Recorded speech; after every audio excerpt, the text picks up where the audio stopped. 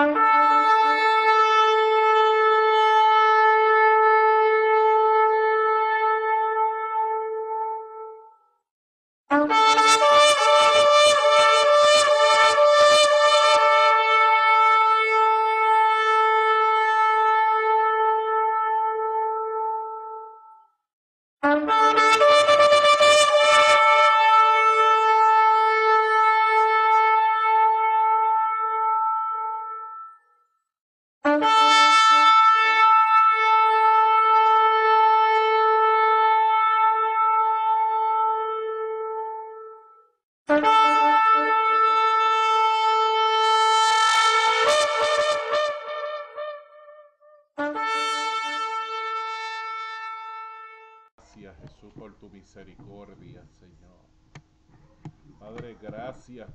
Porque lo que tú nos has prometido, mi Dios, sobre nuestros hijos y sobre nuestros nietos, pase lo que pase,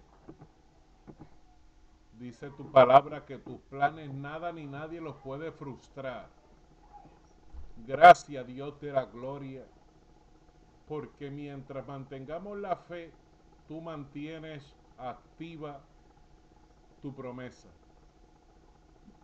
Ayúdanos, Señor, a incrementar nuestra fe, que nuestra fe crezca, para que entonces todo por cuanto hemos creído sea posible, Jesús. De igual manera, Padre, te presentamos a nuestros familiares, nuestros seres amados. Mira, Señor, tú conoces sus necesidades. Padre, glorifícate en sus vidas en esta hora. Llega hasta sus respectivos lugares, Señor, y tócales. Trae liberación, trae sanación y prospéralo física, o sea, materialmente, también como prospera su alma. En el nombre de Jesús de Nazaret, te entrego mi mente y corazón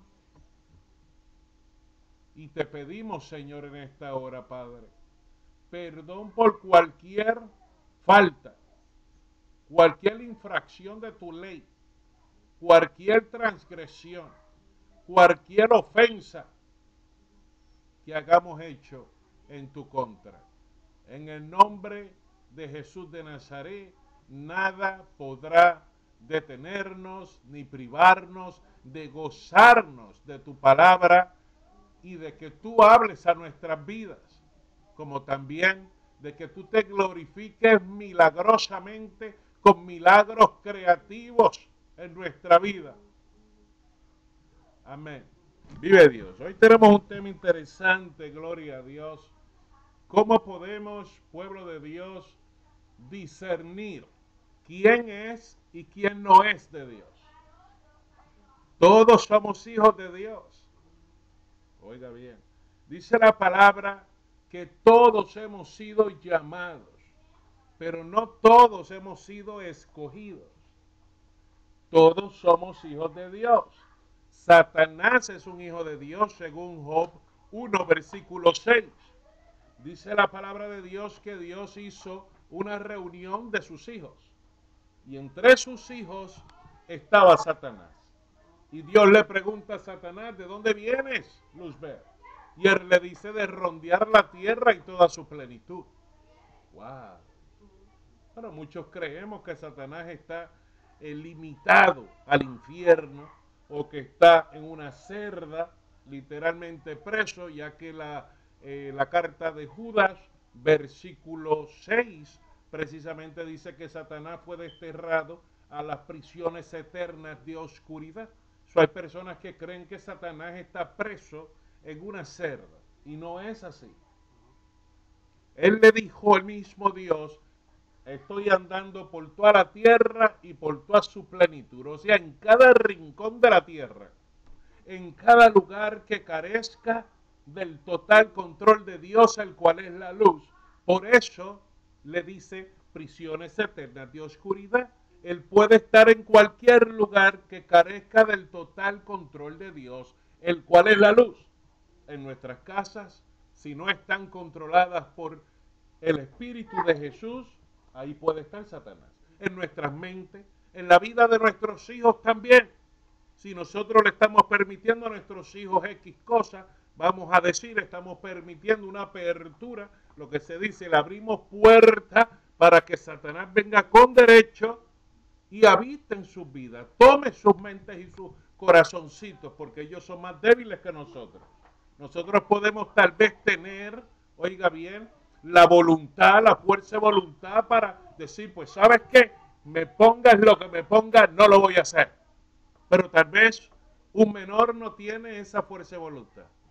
Yo recuerdo cuando yo tenía 16 años, bueno, ya yo iba para 18, yo tuve un accidente de carro. Eh, yo andaba, cuando aquello yo era católico, un vidente católico, estaba con unas monjas en un monte en Puerto Rico orando por el día de las elecciones, eh, los votos del, del, gobernador. Entonces estábamos orando para que eso resultara pacífico. Dios habla algo a mi corazón y me dice, va a pasar esto y esto y esto y esto y esto. Yo le digo a las monjas, Dios dijo que iba a pasar esto y esto y esto. Comenzamos a orar y nos fuimos en nuestro vehículo. Luego, ¿qué pasa? Hubo un gran accidente. Un hombre fue poseído por Satanás y nos persiguió con su vehículo para tratar de matarnos y nos chocaba y nos chocaba. Un hombre con un carro negro, vestido de negro, con un gorro negro, una cosa rarísima, a las horas de las madrugadas, ¿verdad? Un agente de Satanás. Entonces, pues quedamos bastante heridos, etcétera, etcétera. Y yo me rebelé. ¿Para qué te voy a mentir?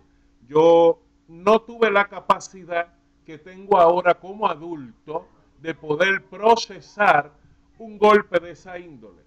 Yo era un niño que dependía de Dios, que le di mi vida a Dios. Al eso pasar le decía yo, pues ¿para qué me dijiste si no me ibas a proteger? ¿Para qué yo advertí como vidente a la gente si como quiera pasó? ¿Ves? Pero si eso sucediera ahora, pues yo digo, ¿sabes qué diablo mentiroso? Tú no tienes parte ni suerte, tú no me puedes, pese a lo que pese, no me puedes apartar de Dios, ¿verdad? Y etcétera, etcétera. Puedo tener esa fuerza. Pero como jovencito, yo no tenía esa capacidad. Son más sensibles, son más emocionales, carecen de la madurez, gloria a Dios, de que eso, ¿verdad? Ay, Dios le bendiga, hermana. Aquí estaba la gente como que medio asustada con el ruidito. Bueno, no, no.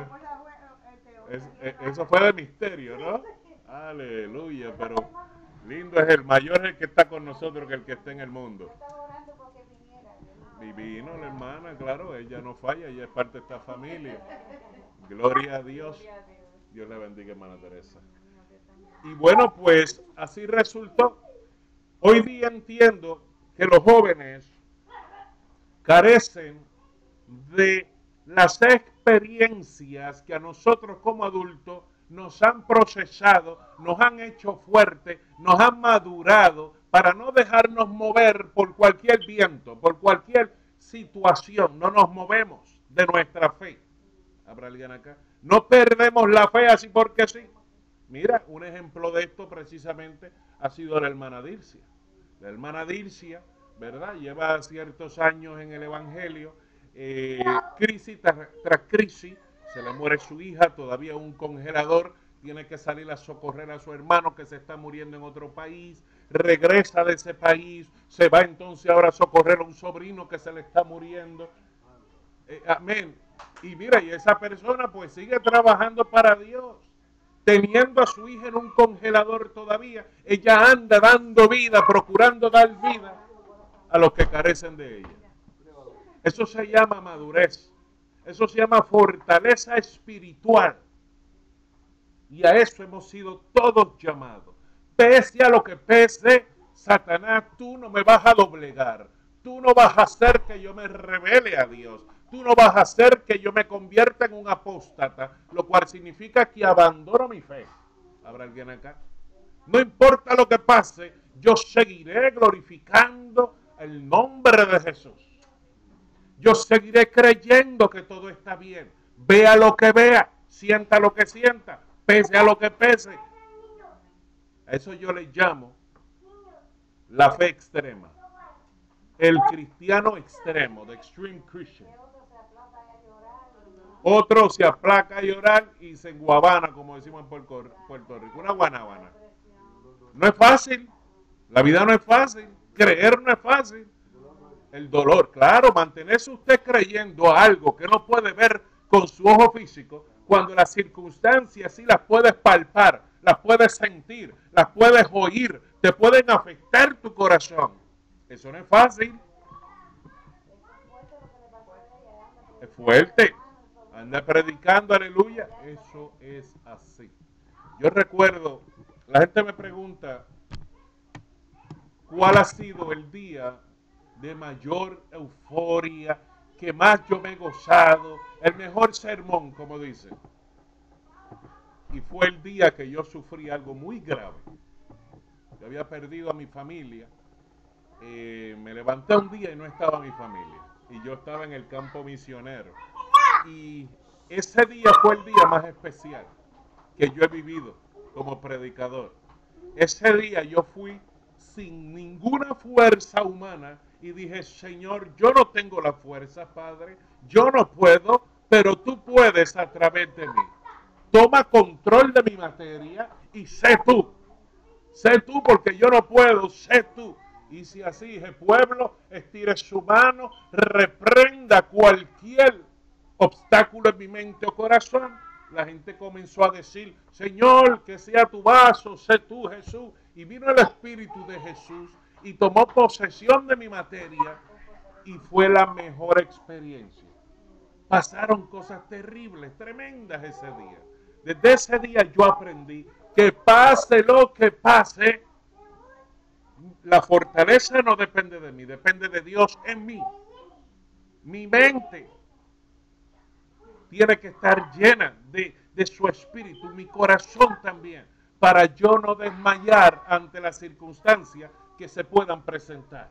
Oiga bien, cuando Jesús estaba débil en el desierto, que tenía hambre después de 40 días en el desierto, oiga bien, tenía sed.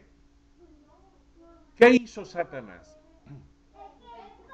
Le ofreció los mejores manjares le ofreció todo de lo que Jesús carecía, porque Satanás conoce cuál es nuestra debilidad.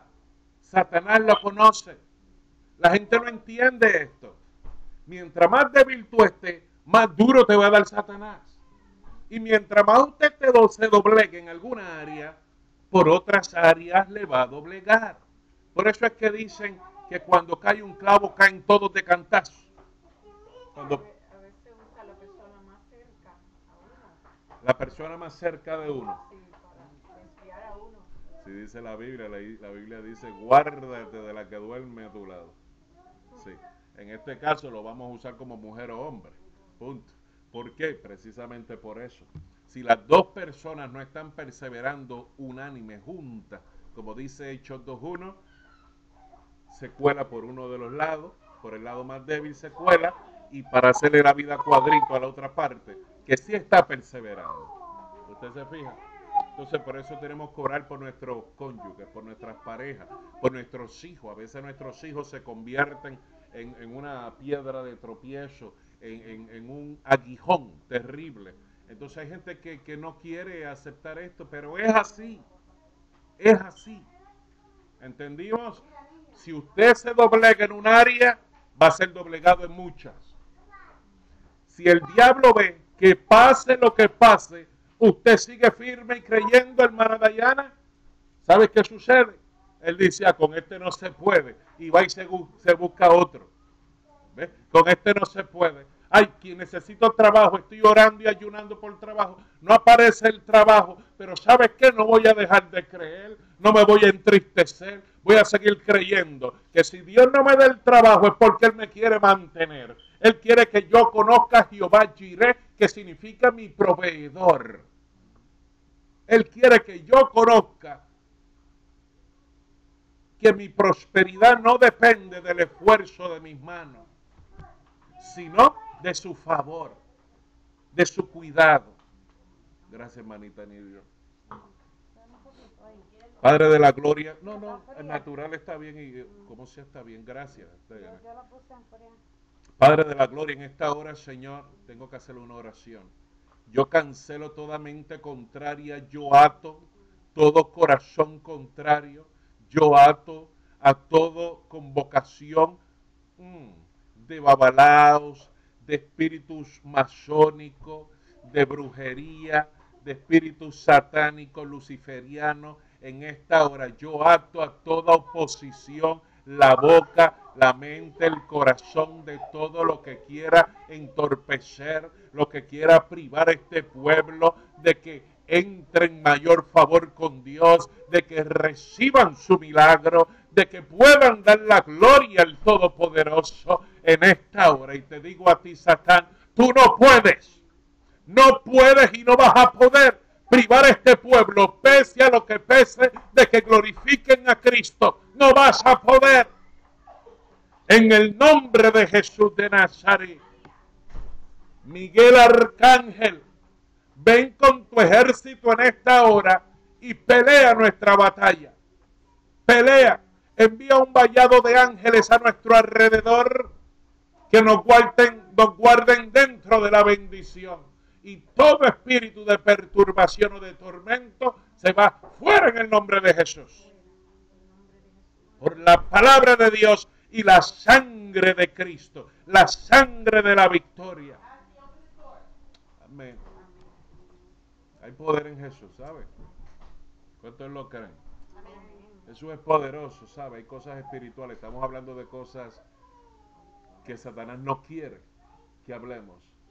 Entonces, mientras yo hablaba, comenzaba a enviar dardos y, trataba de desconcentrarme. Eso no es común en mí. Normalmente, para la gloria de Dios, yo tengo una capacidad que puede pasar lo que pasa en el ambiente, yo no pierdo el hilo.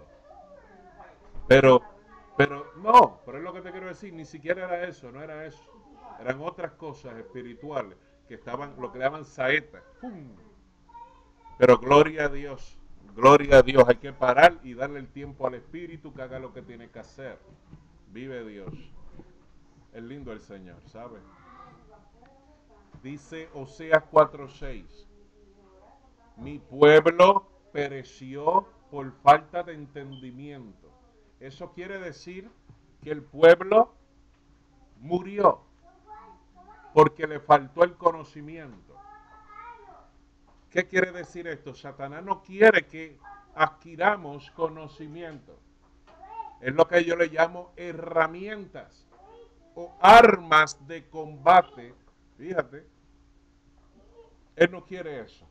Estamos hablando, fíjate, yo estoy hablando de unas estrategias de combate espiritual, de cómo él opera para doblarte y cuando te dobla por un lado, te parte una pata, te parte la otra.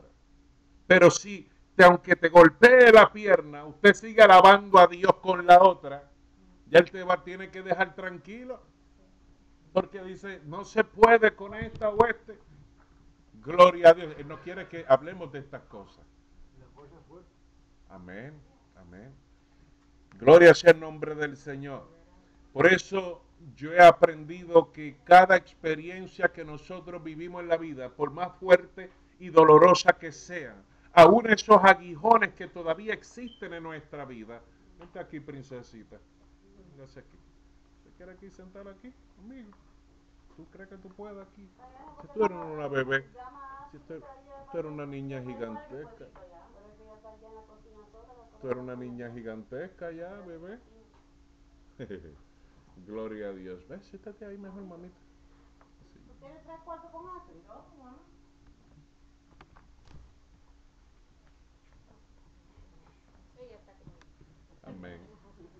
Y ahí te adoptaron. ¿Viste qué lindo es el Señor? Amén. Gloria a Dios. So, cada experiencia que nosotros hemos vivido ha sido necesaria para que nosotros seamos hoy lo que somos. Cada experiencia, buena o mala, es lo que ha formado en nosotros el carácter que hoy tenemos, la personalidad de lo que hoy somos, el yo soy. Cada cosa buena o mala. La hermana Nidia ha pasado situaciones negativas en la vida. Un ejemplo, esto es un decir. Cosas que le han doblado y le han dolido. Oiga bien. Y luego viene otro, pa, otro golpe más y le han doblado más. Pero tú sabes que hoy por hoy pasa lo que pasa y el diablo no la puede doblar. Hoy por hoy pase lo que pase y no deja de creer. Tremendo. Hoy por hoy, duela lo que le duela, ella entiende que tiene que mantener una actitud positiva para poder aportar a que se mejore la situación. ¿Verdad que sí, hermana? Gloria a Dios. Esto solamente es posible con la madurez que se desarrolla a través de las pruebas. Entonces las pruebas son necesarias. Es lindo el Señor. Aleluya. Yo quiero que los que trajeron su palabra vengan conmigo al libro de Mateo.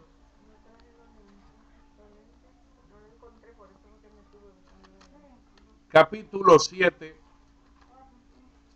Usted no se preocupe. Como quiera que lo vamos a leer, eso no es problema. Claro, claro. 721.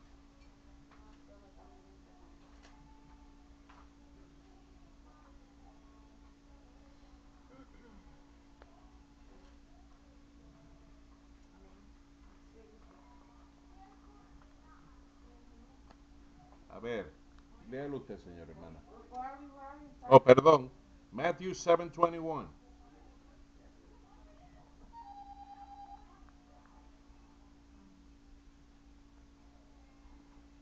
A ver, oh, usted la tiene en el teléfono, está bueno.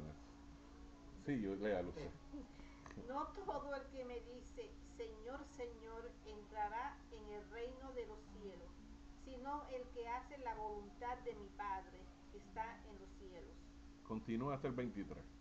Muchos me dirán en aquel día, Señor, Señor, no, no profetizamos en tu nombre y en tu nombre echamos fuera demonios y, y, y en tu nombre hicimos muchos milagros y entonces le declaré y entonces les declaré, nunca os conocí, apartaos de mí, hacedores de la maldad. Amén algunas versiones bíblicas, en vez de decir hacedores de maldad, dice agentes de iniquidad. Wow. Aquí está hablando el Señor de personas que tenían la capacidad de ser tremendos profetas. Y para el que no conoce el término profeta, es aquel que proclama la voluntad de Dios. Y para ser profeta se vamos a decir, un profeta desarrollado es aquel que tiene unas herramientas de discernimiento de espíritus que puede también, o sea, tiene evidencia también, como también es posible que tenga el don de la interpretación o de la, de la revelación de dichas visiones, etcétera. Hay unas herramientas, ¿verdad?, que componen este, o condiciones para que componen el profeta. Entonces aquí está hablando de, una persona que no solamente es profeta, sino que tenía capacidad de sanar personas. Tenía capacidad de echar fuera demonios. Tenía capacidad de hacer grandes milagros, señales y prodigios inclusive. Y Dios le dice, apartaos de mí, agentes de maldad. Yo no os conozco. Yo no te conozco.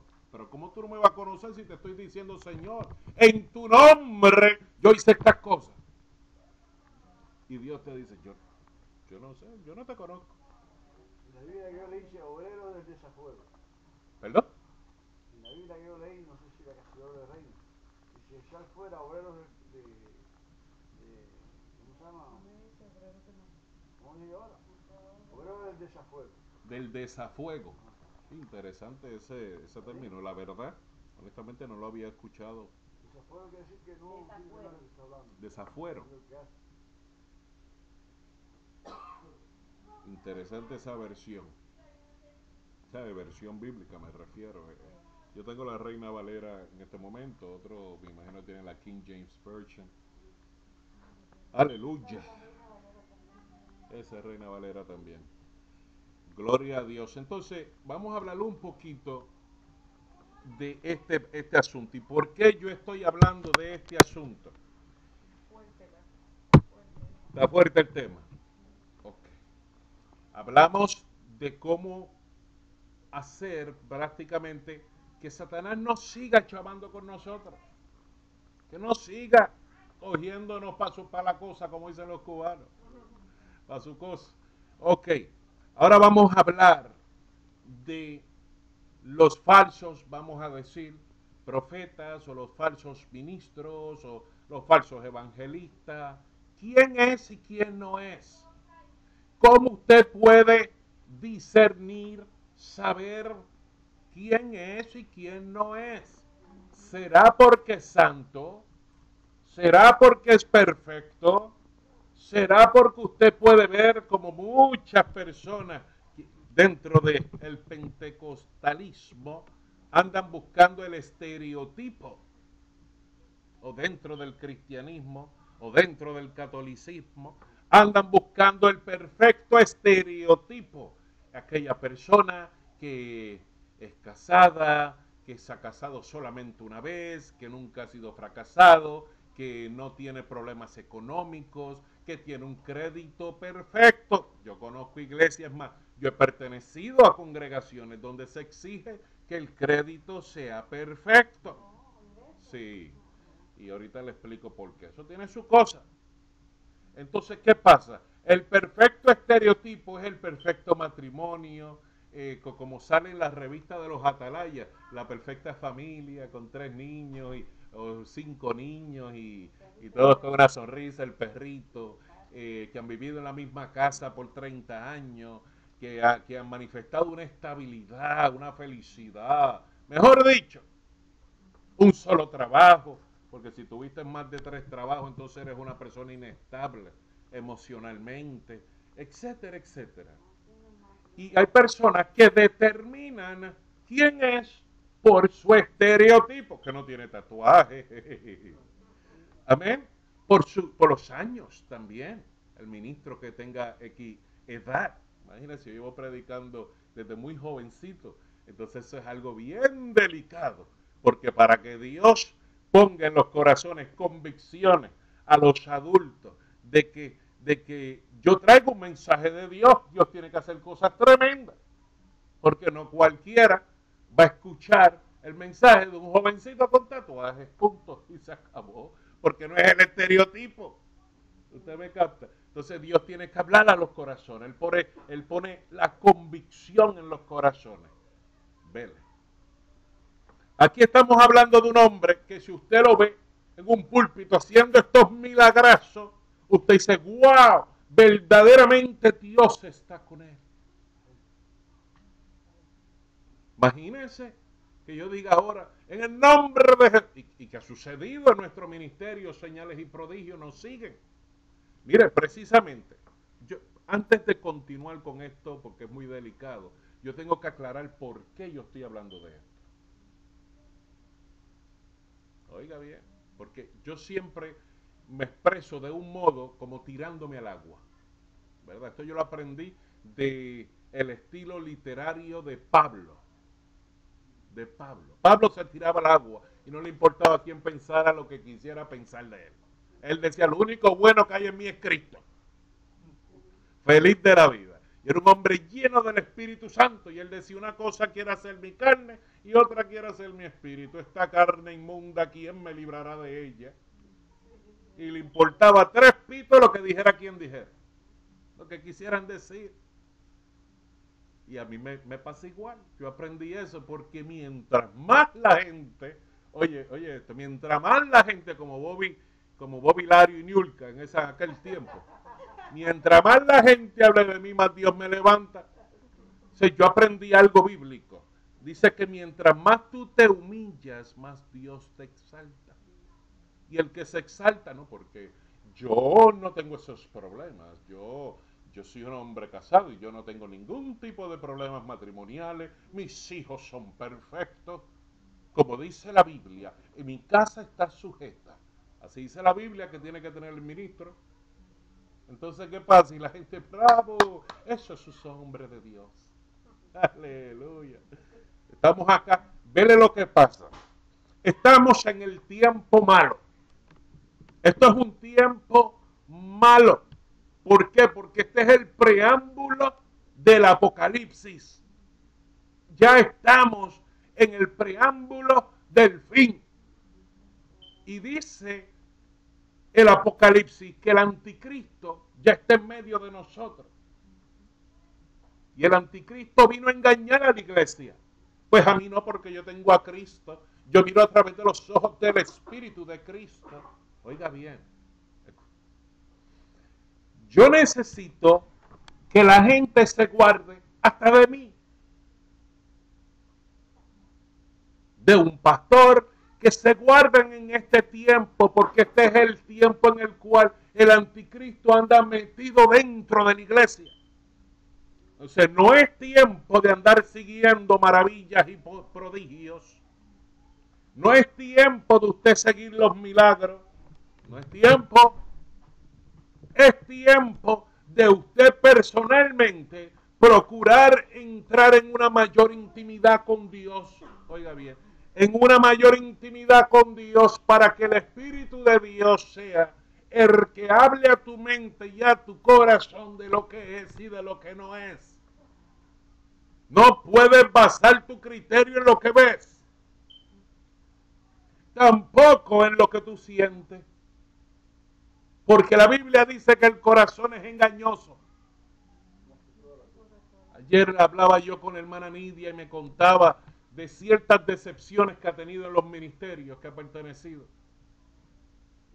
Y si ella no hubiera sido tan fuerte y madurada, ella no creyera ni en la luz eléctrica, mucho menos en su propia casa, estamos levantando este grupo. ¿Habrá alguien que entiende lo que hablo?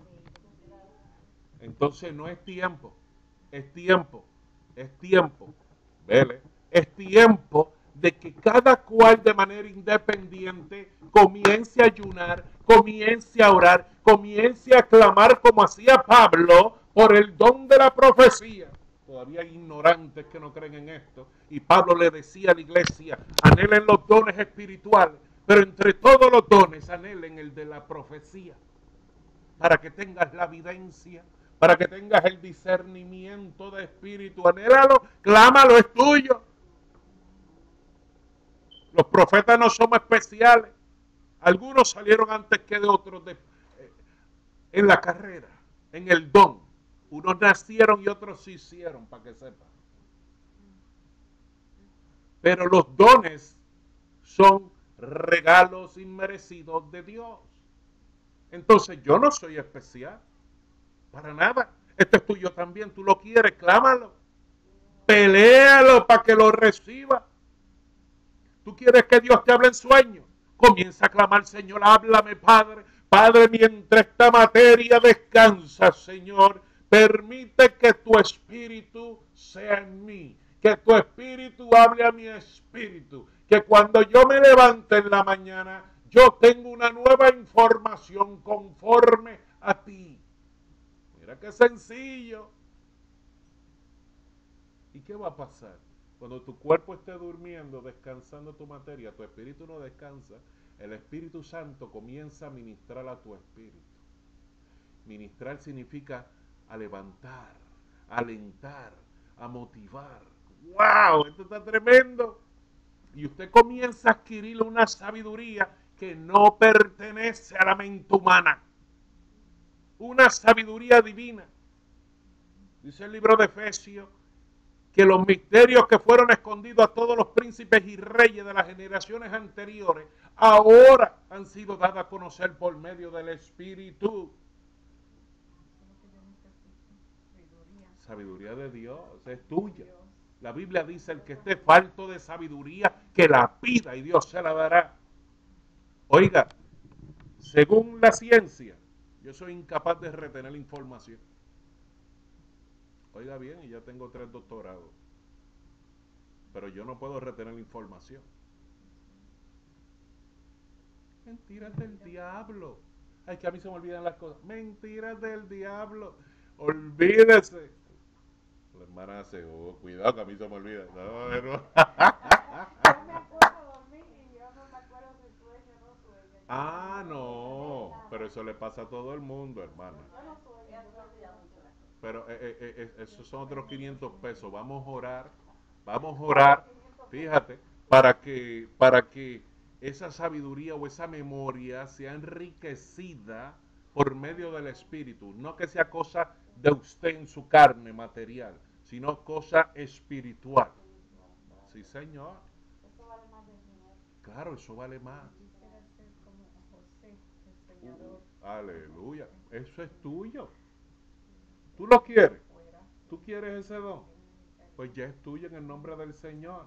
Yo no te conocía el día que Dios me dio hasta tu nombre, Teresita. ¿Usted se acuerda de ese día? Y dije, ¿y quién es Teresa aquí? Dios me sigue hablando y es una tal Teresita. Y dale con Teresita. ¿Y quién es Teresa? Y yo dije Teresita, no Teresa. Y apareció por allí Teresita. Santo. Y Dios me dijo que usted era una profeta. Y el profeta es visionario. Visionario. Así que ese don es tuyo.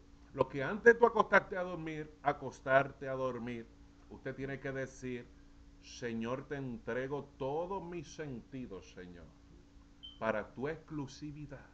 Porque acuérdate, hay espíritus en los ambientes buscando entrar y traer pajas mentales y traer porquería y sueños eh, que no son y cosas extrañas y sentimientos contrarios. Y ellos elaboran en tu materia mientras tu materia está básicamente como vacía, descansando.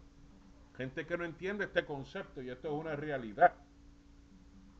Cuando tu cuerpo descansa, básicamente queda sin voluntad propia. So, tú no puedes decir, vete para allá, espíritu eh, de lujuria, vete, espíritu de lascivia. Tú no puedes porque usted está ido, usted está en otro viaje. ¿Entendimos eso? Y entran espíritus contrarios. Eso es de ahí. Por eso yo cuando oro, oro a, a Dios de Yahvé, Dios de Abraham, Uh, Dios de David, Padre de amén. Jesucristo. El Padre, eh, amén. A él alabo, a él ese bendigo. Usted dijo, u- eh, espérate, usted dijo un nombre clave. ¿Qué nombre fue el último que dijo? Padre de Jesucristo. Padre de Jesucristo. Ok. ¿Cómo dice Judas 1? Judas 1 dice,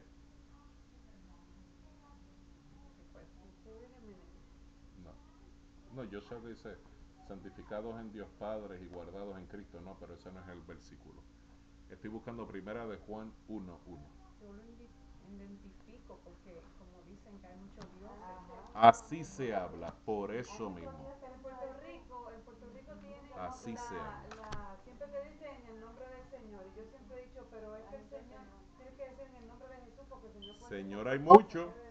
Señor, hay mucho. aumentar porque tengas tú en la casa. So, Señ- tienes que identificar en el nombre de Jesús. Señor, hay muchos. Ese es el problema. ¿Qué significa Señor? Es tu amo. Decir, señora, yo creo en el Señor. Estás hablando, yo creo en mi amo, pero ¿qué amo? Primero de ¿qué? Eh, uno, uno. ¿Entendimos? Señor es amo. Lo que era desde el principio, lo que hemos Ya, no preocupes que- por eso ahora. No, no se preocupe por eso ahora. What? Nada. Una serpiente que está por ahí en el sofá. Lo que era desde el principio, lo que hemos oído, lo que hemos visto con nuestros ojos, lo que hemos mirado bien, y nuestras manos han tocado de la palabra de vida. That's first one, first John, one one. Ok. Dame un segundo. Porque la vida manifestada también lo vimos y testificamos. No, eso no.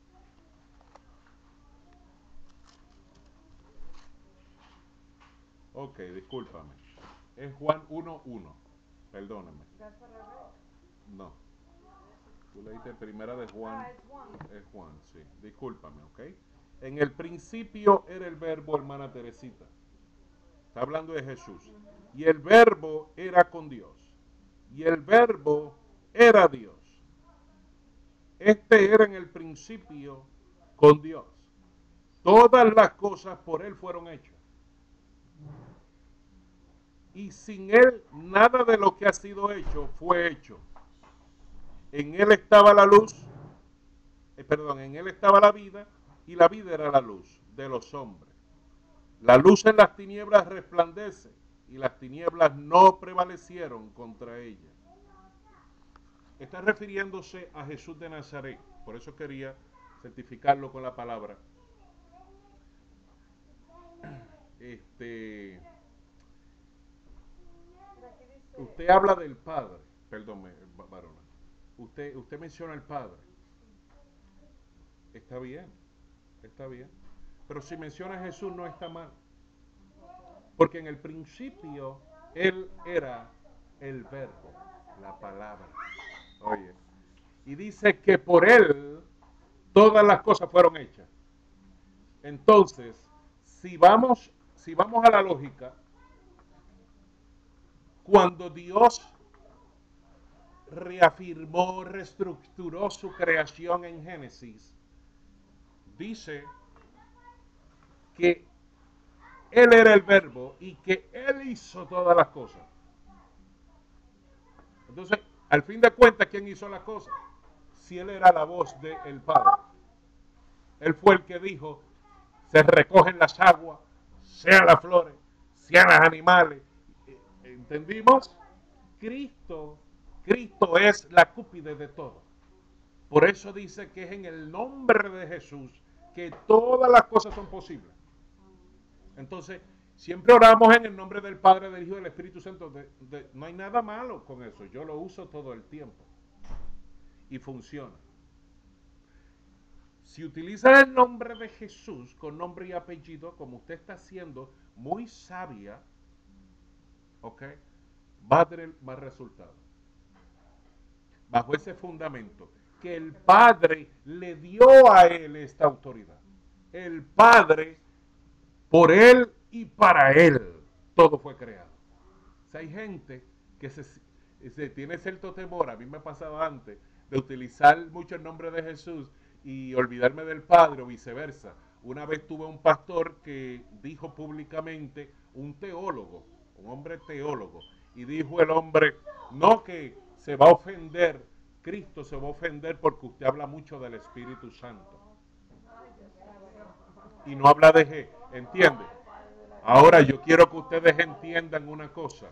Jesús dijo a sus discípulos, a ustedes les conviene que yo me vaya porque he aquí yo os dejo el Espíritu Consolador, que era su Espíritu, el cual recordará todas las cosas que yo os mandé.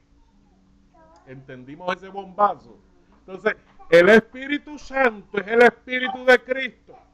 Y no podemos percibir a Cristo, sentirlo, tener a Cristo, a menos que sea a través del Espíritu Santo.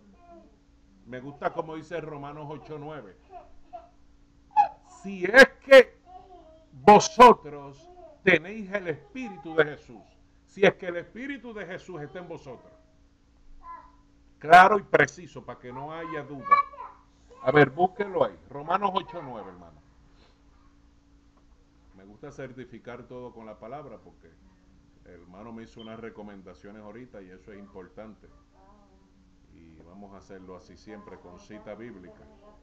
Claro, claro. 8-9. 8-9. Ah, lea si usted lo tiene.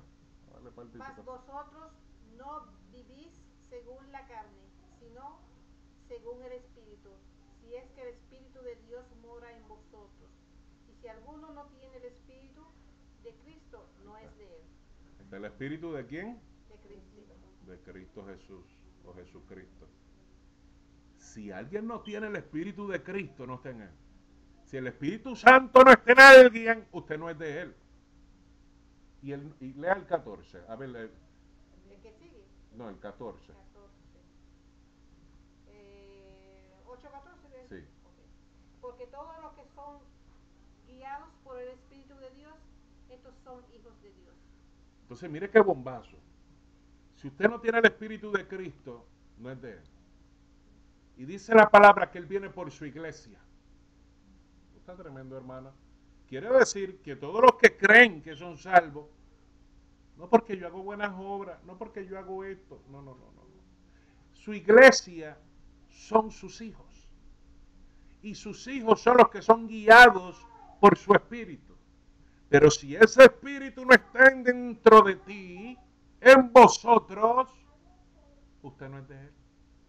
La matemática es simple y precisa, sin mucha doctrina, sin mucho tiquitiqui, ni argumento.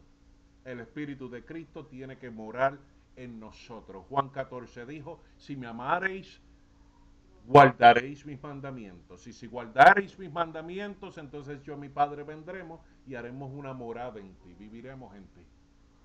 Qué bombazo, ¿ah?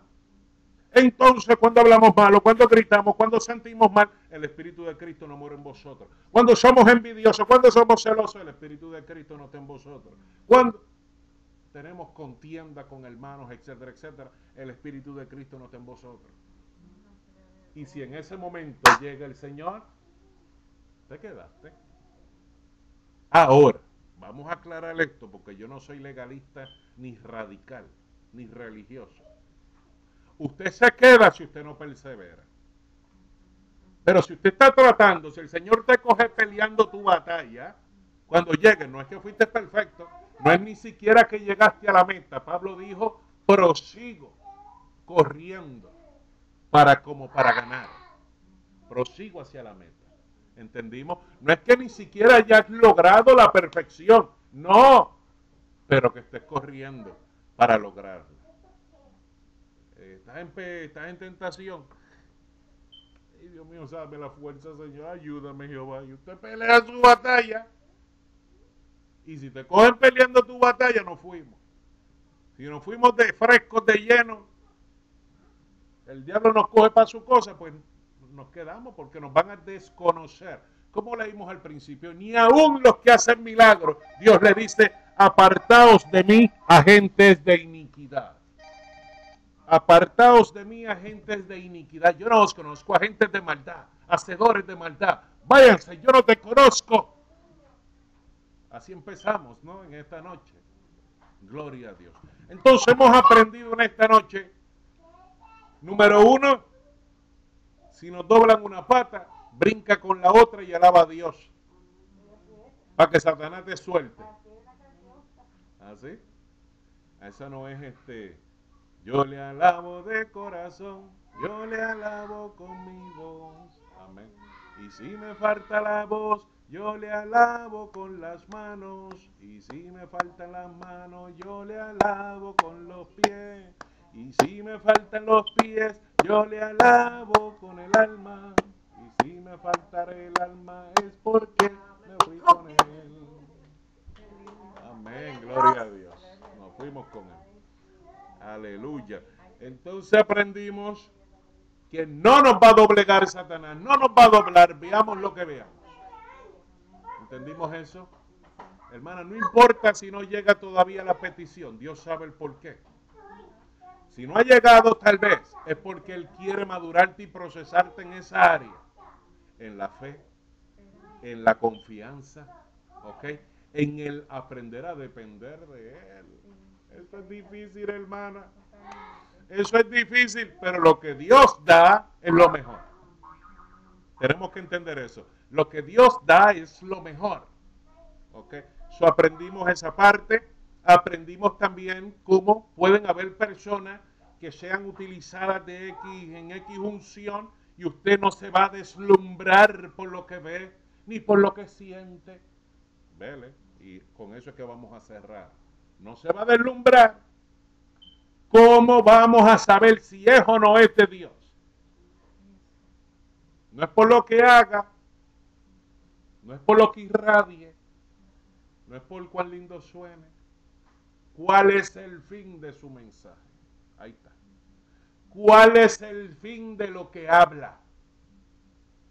Si lo que habla es para que usted crea en Él porque yo hago milagros, porque yo soy profeta, mírame a mí, mira qué unción tengo, mira qué poderoso.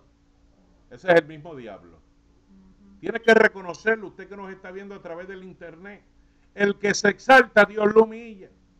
Si el hombre anda buscando gloria propia, ese hombre no es de parte de Dios. No es por el estereotipo, no es por lo que usted está viendo, no es por lo que quiera ver, no es por lo que sienta, ni lo que quiera usted sentir, no es por sus emociones.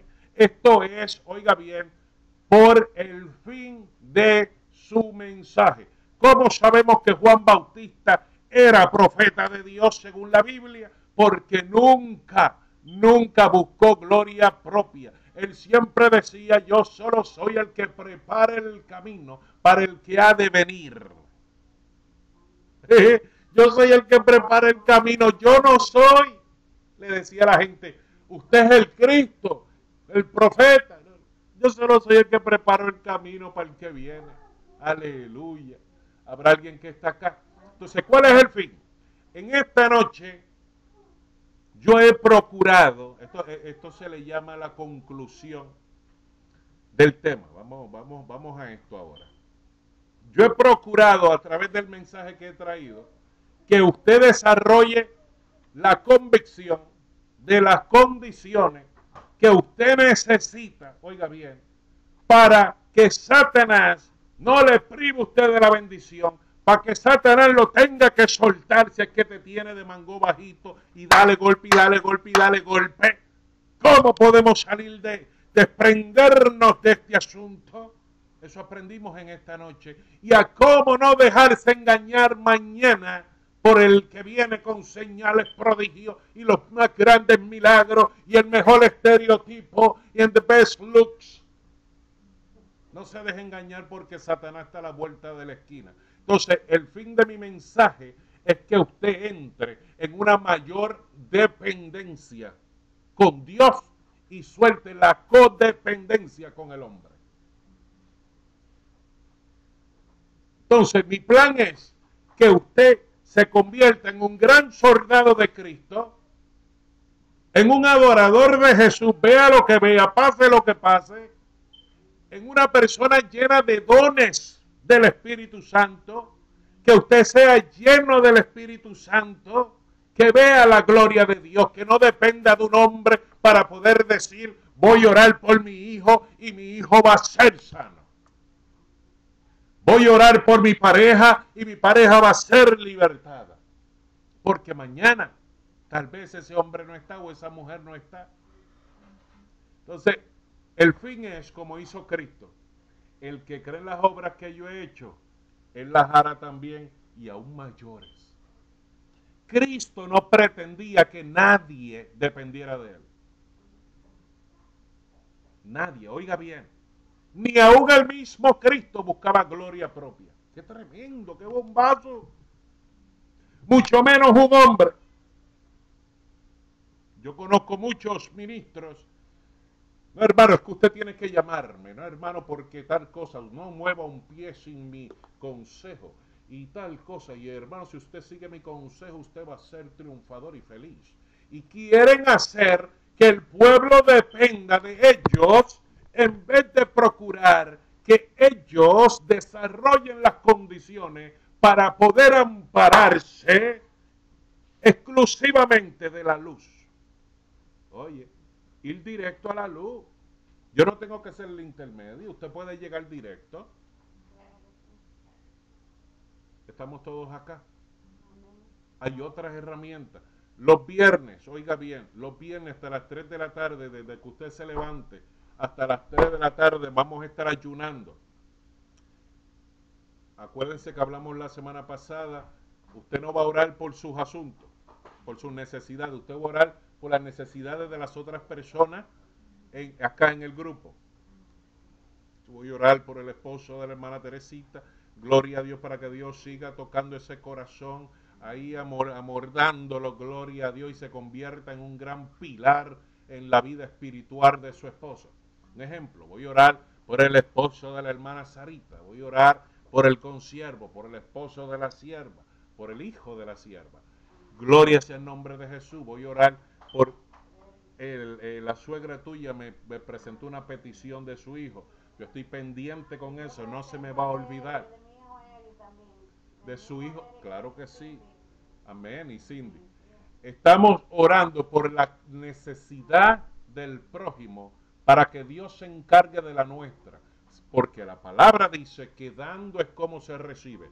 Desde que nos levantamos hasta las 3 de la tarde, vamos a tomar agua, el que pueda. Si usted tiene alguna condición de salud, pues tenga cuenta, tómese sus Yo- pastillitas. no puedo estar después de, ahí, de las 2 de la tarde sin tomar la medicina. Ok, usted la toma fija. a las 2 de la tarde para tomar la medicina. Ok, hermana, pues una condición especial. El que pueda hasta las 3, las 3 de la tarde es una hora milagrosa. Gloria a Dios, esa es la hora de la misericordia de Jesús. Gloria a Dios. Y algo pasa. A las 2 y las otras, entonces a las 3 y 6 de la Está bien, mi reina, como usted pueda, hermana Nidia. Que son los viernes, ¿right? Los viernes, Hasta las 3. hasta las 3 nada El más. que quiera puede seguir si Y el que, el que, eh, el que pueda quiera. vele, vele, ve- vele qué pasa. Estamos en un solo cuerpo espiritual, en un solo sentir. Vas a ver la gloria de Dios hasta ahí, hasta ahí. Después